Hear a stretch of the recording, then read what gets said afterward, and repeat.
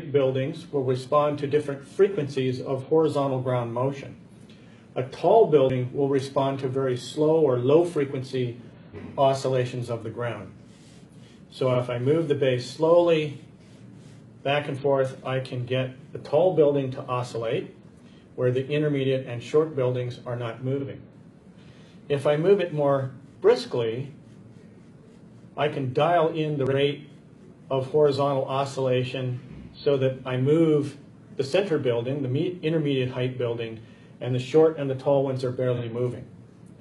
To get the short building to oscillate, you need to move the base very briskly back and forth and dial in to the natural frequency of the short building, and we can see that the intermediate and tall buildings are barely moving.